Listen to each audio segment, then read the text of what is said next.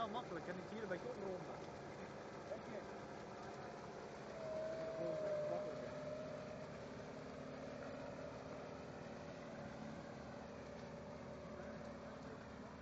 Niet van mij, maar hij, be- hij begint uh, zo hard te kraken.